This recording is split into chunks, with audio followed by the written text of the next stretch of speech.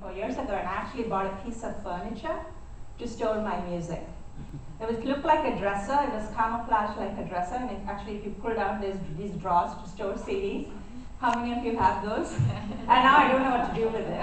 So I use it as a countertop, right? And the point is most of us acquire our music digitally these days, and it, it requires a different kind of storage that we don't even see. It's somewhere in the cloud. Um, so that's, that's what's happened to the media music industry, and we think video will actually be the killer app in the next phase of the internet. And how will we, video change? You know, it's going to consume huge amounts of bandwidth, which is good for us, Cisco, because we love anything that eats a lot of bandwidth.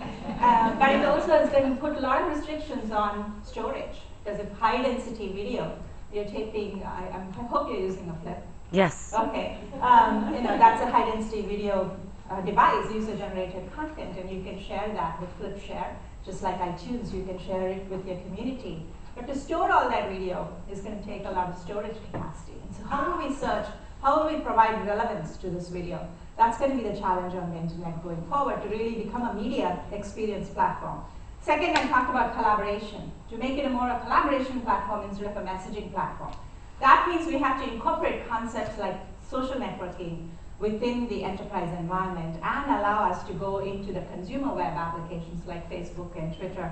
I'm a big user of Twitter and, and I use it for many different reasons, for personal reasons as well as work-related reasons.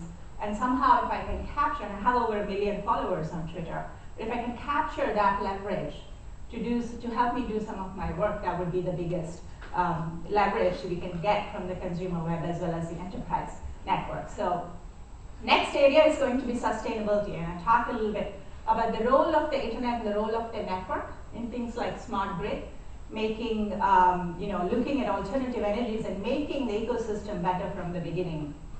Right? All of these things are going to require the network to play a much broader role than we had done so in the past. And lastly, the architectures are going to be much more distributed, much more virtualized, moving more towards the cloud as well as having on-premise capabilities. And the federation between the two has to be played um, and enabled by the network. So that's our vision of where we think the internet will evolve to in the next five, ten years. So as Cisco, uh, at Cisco, we are making investments and consider these four areas to be significant priorities for, for our company and for our partners and our customers. Video, collaboration, smart connected communities, which includes smart grid and healthcare and some of the other things that I mentioned, and virtualization and cloud computing.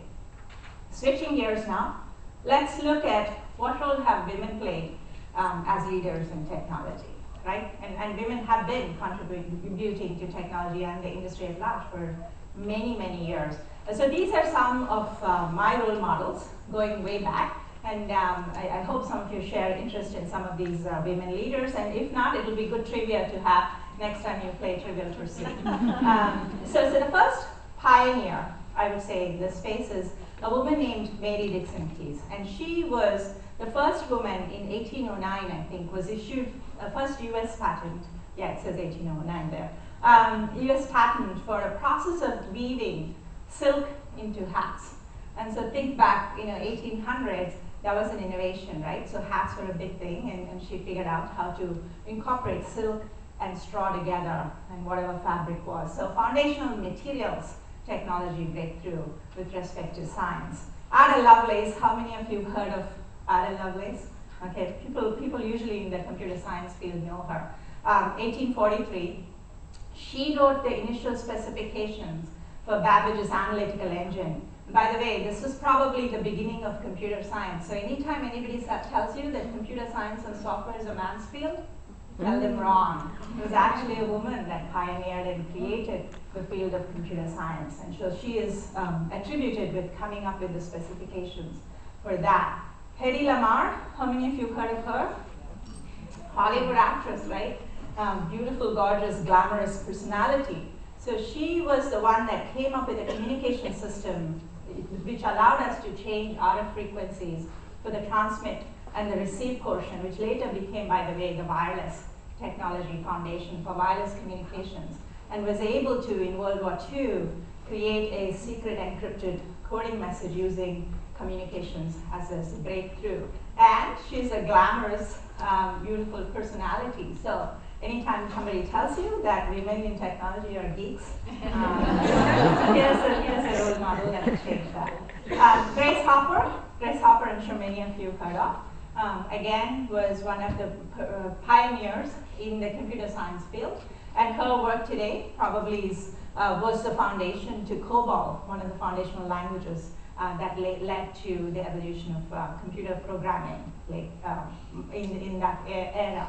So the point here is that it takes many different styles and capabilities to contribute to the body of knowledge in the, in the field of science, technology, and the commercialization of that, right? And all the examples I picked were not just examples of somebody that just did something in a lab. I mean, they created industries and they created basic notions of how communications gets done, uh, wireless communication or programming gets done. So the foundational aspects of invention as well as commercializing that technology. So how is the role of women going to change in the future? And this isn't just in technology. I would say this is probably, you can think of it as women leaders. How has this changed? So if you look back to the women that, I, that I uh, chose to uh, show you, the words that come to mind are the pioneers. They pioneered, they were the first one to come up with something. They were trailblazers. There was nobody out there and they created a trail. They were different. You know, they had to be different to be successful. And they essentially worked alone. They were solo contributors because there was no way at the time to have a network like, like we do today or have a way to share experiences or learn experiences on a social network on the internet or physically like we're doing today. And they were mostly, their experiences were instructional. You know, it was more about teaching what they had. So how will this change going forward? More and more leaders and women leaders have to become influencers. Uh, it's all about, it's, it's important to be a pioneer, meaning you've done something first, but you also have to influence a larger body of community with the vision. So what do I mean by that? You know, we are in a global connected world. So whatever idea we have, the minute we think about that idea, somebody else has already thought of it, perhaps, right? So how do we influence these bodies of ideas to move forward in the same direction? So one of the ways we can do that, and there are tools that allow us to do this, right? There's things like the internet where you can post a blog and you can have a wiki within your corporation, you can share your ideas. So as leaders, we have to figure out how do we increase our sphere of influence. Uh, it's either through speaking or writing a blog or writing, writing on a wiki or posting a comment on somebody else's blog if that person is an influencer already and how do you add other influences to your sphere of influence. This is a skill people didn't have to worry about 10 years ago. Right? All of those people probably didn't have to worry about being an influencer, whereas today we have to, we have to have that skill. The second skill is about being a community blazer. It's not enough just to be a trailblazer, but you have to have a community that follows you. And, and what does that community mean? The communities could be many different communities. I belong to a community of engineers because I'm an engineer. I belong to a community of women leaders because I'm a woman. I belong to a community of working mothers because I'm a working mother. I belong to a community of Asian Americans because I am one. You know, and, and so we have multiple communities. I belong to a community of Cornell alumni. I belong to the Twitter community. So there are many communities that we each belong to in our lives. And, and, I don't think that part of it was different. We always had communities where uh, it's a community where you live in, where you work in, etc. But these days, you can connect those communities with the role the technology plays. So the challenge we have as leaders is how do you, when do you connect them, when do you keep